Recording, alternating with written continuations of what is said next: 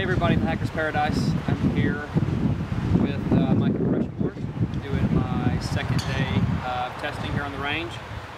Uh, so again, I will be using an 8 iron for, uh, for today's practice.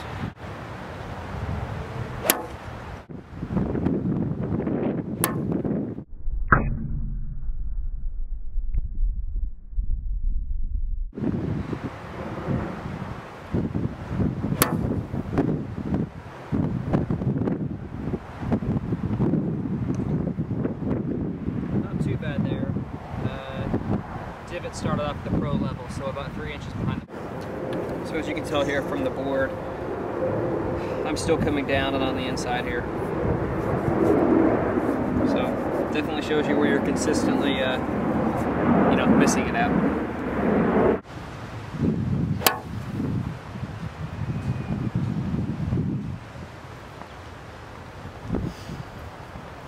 That was better. I picked that one uh, fairly clean there.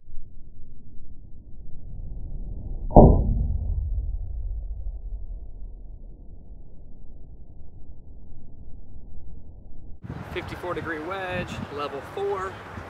Seeing if I can just hit a nice little 50 yard lob shot.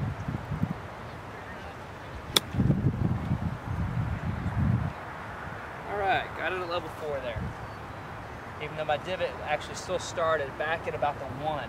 So no contact with the board, but divot still three inches behind. Try to move the ball a little bit more back in my stance and see what that does.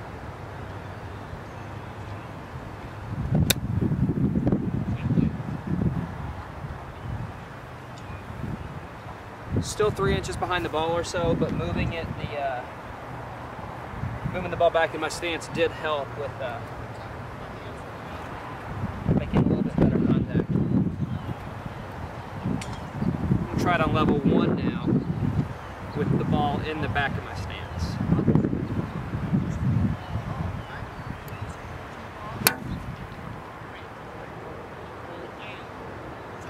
Actually caught the board on the way back and the way through that time.